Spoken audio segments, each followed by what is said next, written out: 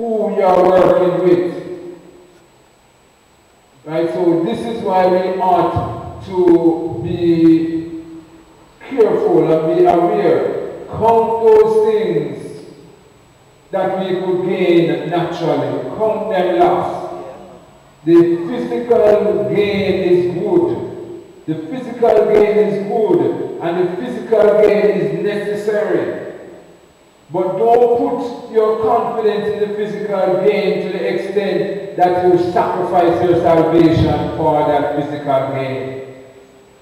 It's not that you should not earn money. It's not that you should not go out to get money.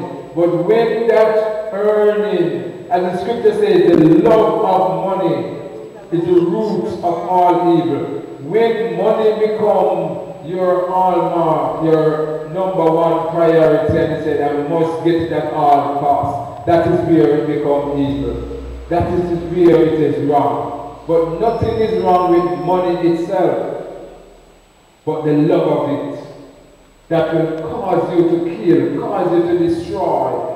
And this is what Paul said, count those things that you could gain naturally. Count them lost for Christ. That means when you compare the physical with Christ, you say, oh, I prefer to hold on to Christ. Don't allow sac- be the sacrifice for Christ. Sacrifice the natural thing for Christ. That, it, that don't mean that you must work if the boss asks you to work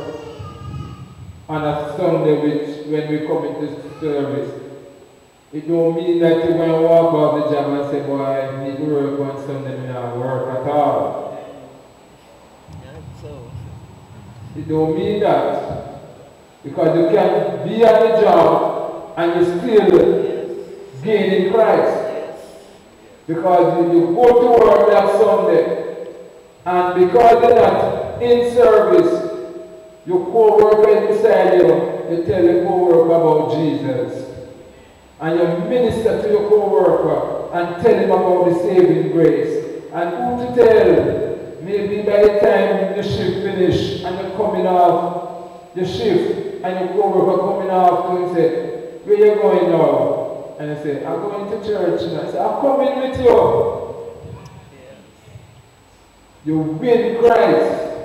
But some of us, we are so self-righteous that we say, me, before we work, I left the world. When you leave the world now, your rent is supposed to be paid. Who going to pay it? Jesus. Jesus. Right? So when the landlord come and knock at the door and say, give me rent, tell him, say, ask Jesus.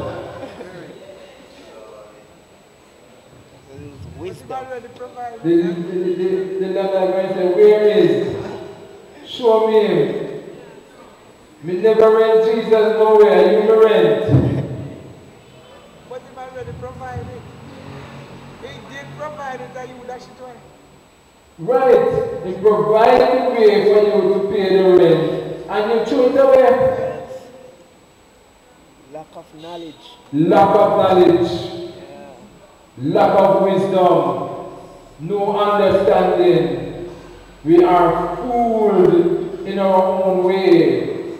So therefore, Paul put us on our guard and said, look, those things you, you could gain, you count them lost. Yea, doubtless, I count all things but lost for the excellence of the knowledge of Christ Jesus my Lord, for whom I have suffered the loss of all things, and do count them but dung, dung, that I may win Christ. In order for us to win Christ, we can't put the natural things in front. We can't put it in front. We have to them but down to win Christ. And be found in Him, not having my own righteousness, which is of the law, but that which is through the faith of Christ, the righteousness which is of God by faith. Paul says when he compare all his earthly possession to Christ, Christ's possession is priceless. The privilege is overwhelming. Those things that I gain naturally only for a time, it only can carry you to a level. But when you reach that level, it can't carry you no further. But it's the riches that you gain in Christ, it carries you to that level and beyond. Eternal.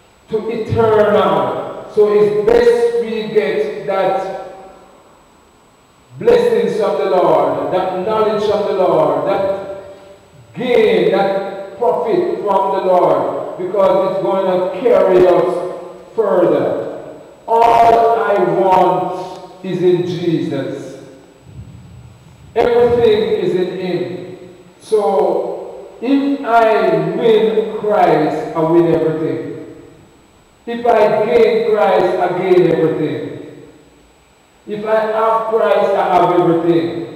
Because when you have Christ, when you win Christ, you're going to get wisdom, you're going to get knowledge, you're going to get understanding. So the wisdom of God will tell you that when you are working, you're working among unsaved, but you have to be as wise as a serpent, harmless as a dove. You are working among persecutors who are persecuting you, but yet still, you still work among them. You're working among liars, but you're still working among them. You have some people who want to tell us, you know, that, why am I working no sin, you are so righteous that you don't want to work with the unsaved. Some people don't even talk to an unsaved. Because they say they don't want to have nothing to do with the unsaved. But when you are of the true circumcision, you will be among wolves and they can't hurt you.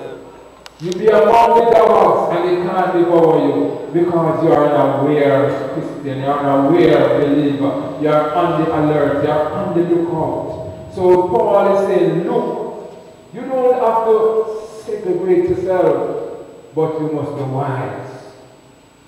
Those things that you could gain, you count them lost. Say that I may be found in him not having my own righteousness, not having my own agenda,